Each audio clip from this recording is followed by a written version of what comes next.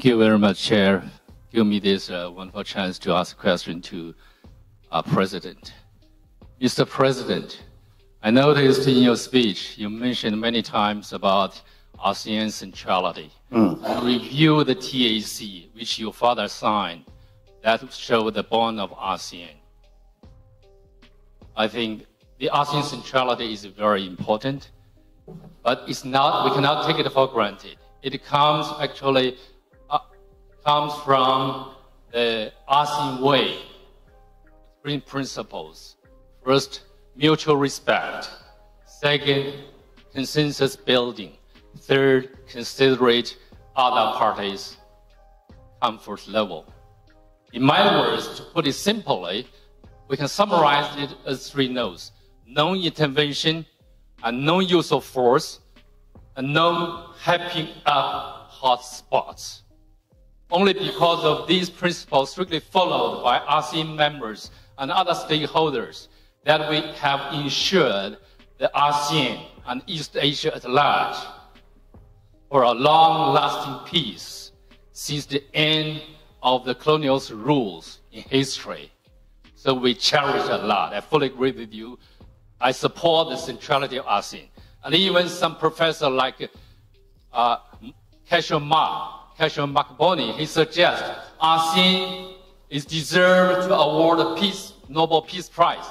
I agree with him. Thank you very much. I think uh, your question is, do you agree with me? So President Marcos, yes, please. my question is, President, in the eyes of the international community, some of your Philippines behavior in recent days, recent times, it now sounds like you really consider other parties comfort level. And there is a risk of ruining the regional long-earned, long-lasting peace since the end of the, uh, you know, colonial history. What's your comments on that? Thank you very much. Well, I, uh, I cannot imagine what you must be referring to if the, uh, if the reference or the allusion is to uh, the Philippines uh, uh, somehow uh, tearing apart uh, the what we have agreed on with uh, in ASEAN in, uh, in, in terms of ASEAN centrality. Uh, quite the contrary. I think the, I think if you uh, examine more closely the remarks that I just made, we I precisely focus on ASEAN centrality, and that the principles that are laid down that are involved in the, the concept of ASEAN centrality are some things that we must use to guide us. And if we have been distracted in the past years or so, then it's time for us to return and remember once again what ASEAN was created for. And uh, that is to create an aggregation of uh, nations uh, that uh, have very many uh, common interests and that can be, and that partnership, and partnerships within that multilateral, that multilateral organization can help each other and they help the region. And so uh, the Philippines is still, uh, still remains true to the principles that uh, were established and upon which uh, ASEAN was born.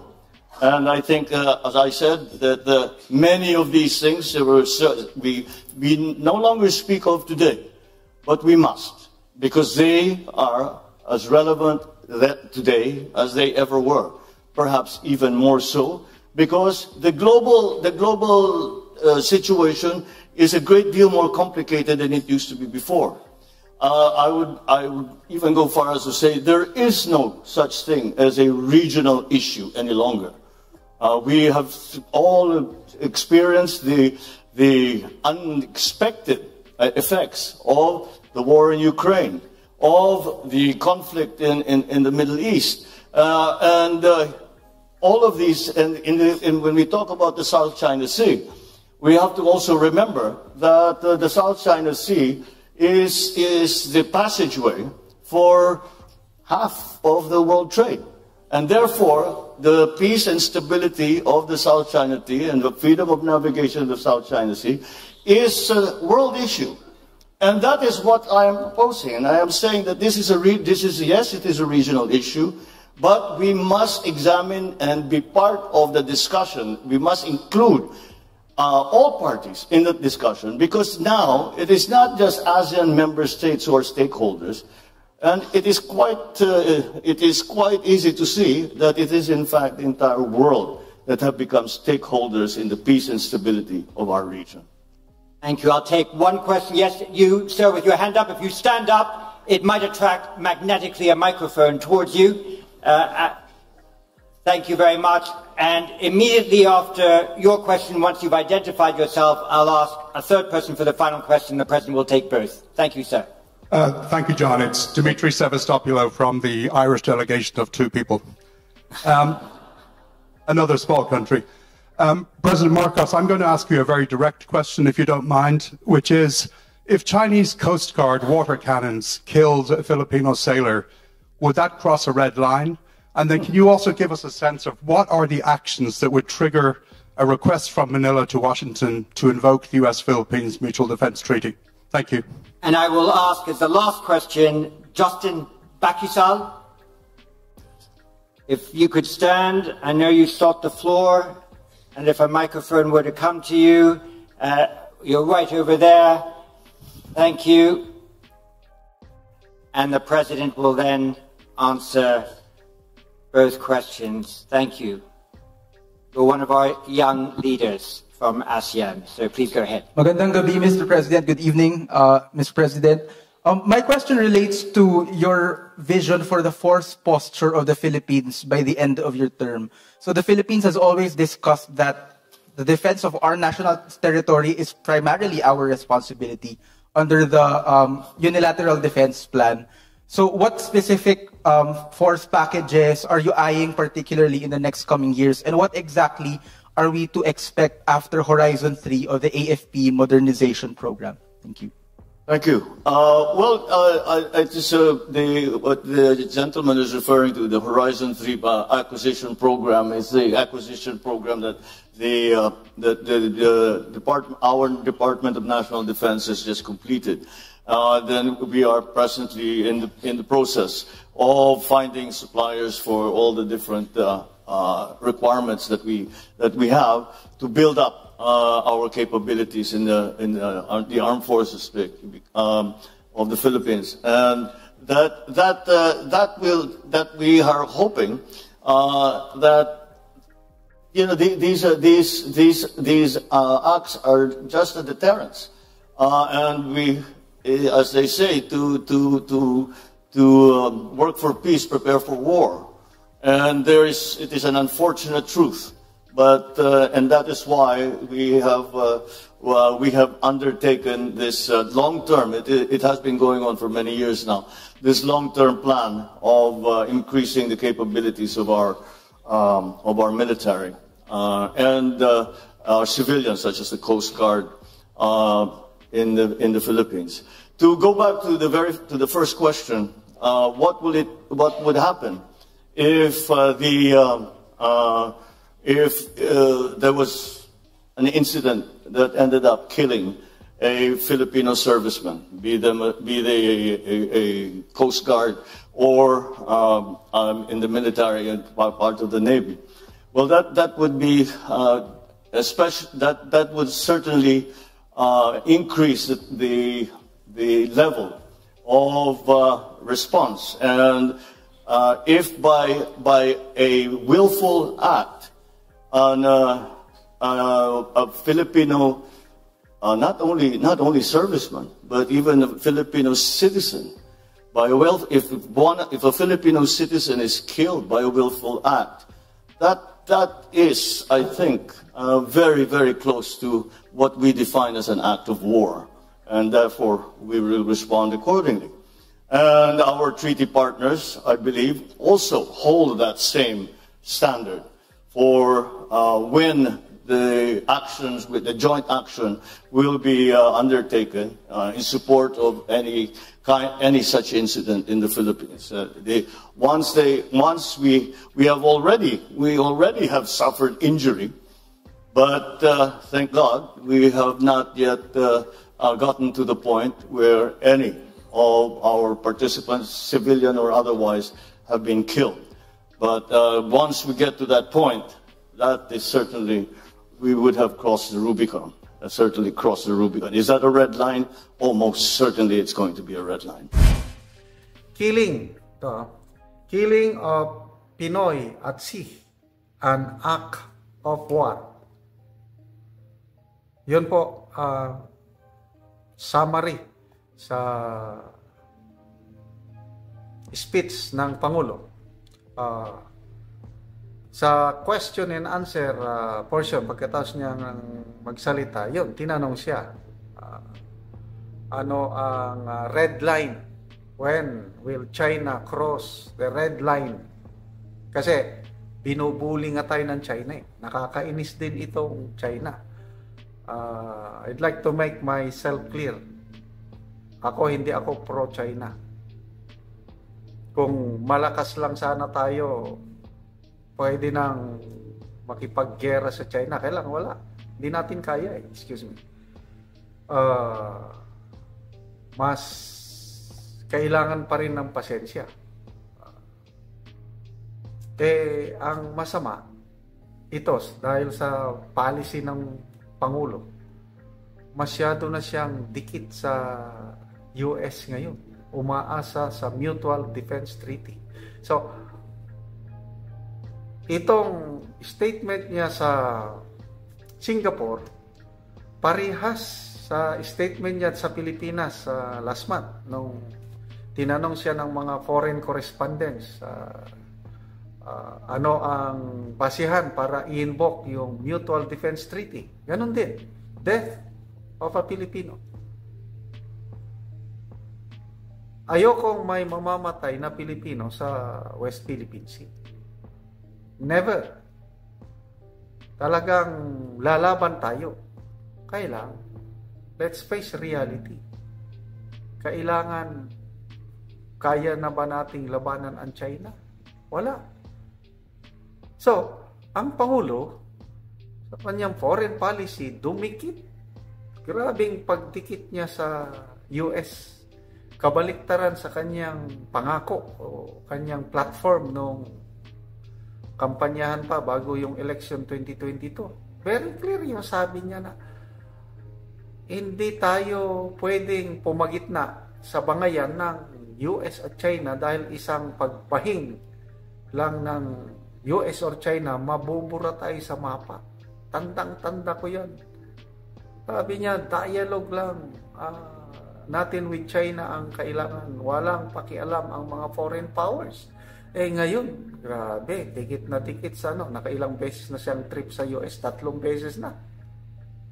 So, umaasa siya, paniwalang paniwala siya sa sinasabi ng US government na ironclad commitment. Pag, uh, ano daw, pag uh, sinobrahan na ng China yung pambubuli nila, eh, nandyan ng US na makikipaggera. But then, grabe, uh, paulit-ulit ko na lang sinasabi ito. Sa Mutual Defense Treaty, pag i-invoke, example, namatay ang isang Pilipino, civilian man o sundalo, i-invoke ngayon ng PBBM admin. Alalahanin natin na ang nakalagay sa Mutual Defense Treaty bago makipaggera ang Amerika, tumulong sa Pilipinas, pupunta pa sila sa US Congress. Kailangan ng approval ng US Congress. Ito ang hindi ma-realize ng administrasyon ngayon. So ang tanong, ang US Congress ba, papayag ba nga na makipagyera with China over the death of one Filipino. Ano sa tingin nyo? I'm sorry, to me, hindi. Hindi yan magdideclare ng gera. Ano lang? Suportahan lang tayo in terms of bunganga or maybe in terms of uh, war materials kagaya ng nangyayari sa Ukraine. Not a single soldier uh, American soldier nasa Ukraine. Ano lang binibigay? Billions of dollars. Ayun. Daming namamatay na Ukrainian citizens. Kera, dito na yung tinatawag na proxy war. Yan po ang nakikita kong uh, gustong mangyari ng US, kagaya sa Ukraine. Ginagamit niya ang Ukraine para girahin ang Russia, para humin ang Russia. Ang US, hayahay kung sa Bisaya. Nandun lang sa likod. Sige, pagpatayan kayo dyan, kami lang dito. Relax lang. Ganon din, ang gusto ng US, tayo ang makipagyera sa China at ang US nanonood lang. Payag pa tayo noon. Proxy war. Okay?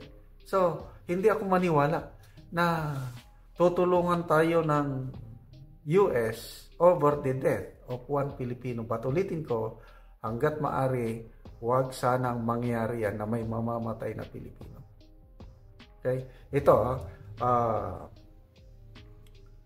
sa nangyaring dialogue sa Singapore, nandun din ang US Defense Secretary si Lloyd Austin at ang China's Defense Minister Dong Jun.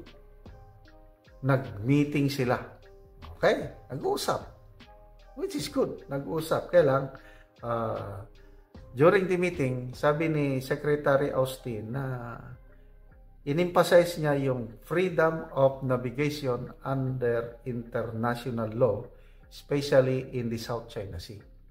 Ito ang ang klaro na interest ng US, yun lang makadaan sila sa uh, ruta na yan, yung sa West Philippine Sea, kasi daanan yan eh. Yan lang ang concern nila. Wala silang concern sa atin yung talagang kapakanan ng Pilipino. I don't believe so. Kung tinutulungan man tayo, kaunting tulong, parang palimos, eh para lang gamitin tayo na i-pressure ang China na huwag guluhin yung uh, highway, yung freedom of navigation. So yun lang, ang gusto ng China, ah, ng US, freedom of navigation. Sabi naman ng China, hindi rin pabubuli ang China. Sabi ng uh, uh, China's defense minister, sabi niya na uh, US was stoking tensions through its military presence in the region. Nang gugulo lang daw ang US, sabi naman ng China. So, anong sinabi ng Pangulo? Marcos said tensions between the US and China were destabilizing uh, for Southeast Asia. Correct. Calling on Washington and Beijing to work harder to resolve those dispute. Nag-uumpugan sila eh, dahil sa freedom of navigation. Oh, sabi ng Pangulo, their rivalry is constraining the strategic choices of regional states Their contest is exacerbating flashpoints and has created new security dilemma. Correct. Nag-uumpugan eh. So kung may dalawang pwersa nag-uumpugan, eh delikado ka kung maki makisama ka. Kaya ang nangyayari ngayon dahil dumikit na ang Pangulo yung kanyang foreign policy statement ng kampanya, sabi niya, we should be friends to all, enemy to no one. Di ba klaro yan na sinasabi niya? O ano ngayon? Friends to US, but enemy to China. Yan na, kaya naiipit na tayo ngayon dahil sa foreign policy ng ating Pangulo. So, ito na, EDCA sites, nako, siyam na military camps natin, pwedeng mag-stay ang US, walang ano to, walang renta. Ano lang meron? Mm, palimos. Yung ilan ba yun? 500 million lang na security assistance. Compare mo sa ano yun, sa Taiwan, ilang billion yun na I think 8 billion dollars ang Taiwan. Ang Israel is uh, 26 billion dollars.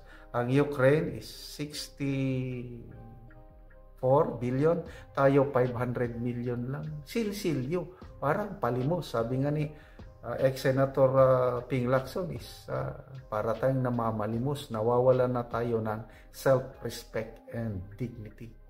So, yan po ang kaganapan sa ano, sana uh, maiwas tayo, iwasan, maiwasan na makipaggera dahil talon-talo ang Pilipinas sa ganitong pangyari. Naiipit tayo ng dalawang superpower.